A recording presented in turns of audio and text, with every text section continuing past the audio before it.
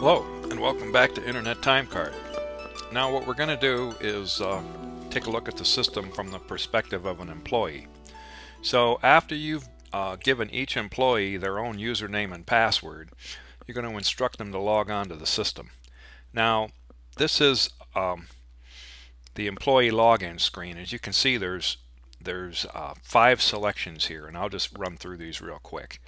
Uh, log information only is when they want to go in and look at their time records. Now they're only going to be able to see their time records. They can't see their, uh, you know, the rest of the employees. Clock in to start the day is what they want to do first thing in the morning. Then you want them instruct them to clock out at lunch, clock in when they return from lunch, and clock out at the end of the day. Now that's the perfect scenario if you have an employee that does that. Uh, that that as a time card administrator is what you want to see. So what we're going to do here, we're going to pretend that we've just gotten up in the morning and we've entered our username and password and we're going to click clock in to start the day and then we're going to log in.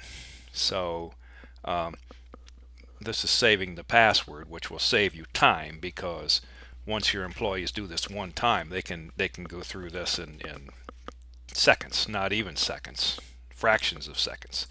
So I'm going to save that.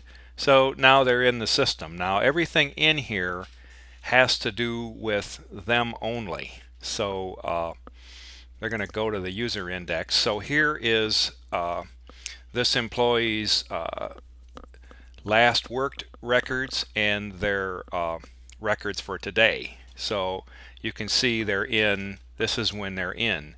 So then they would hit log off and go on about their business and then uh, you know in four hours or whatever they would mark their lunch mark when they come back and mark when they at the end of the day and that day is complete and in the books. So this is what you want your employees to do and that's all they have to do. So that concludes this section of the employees logging into the system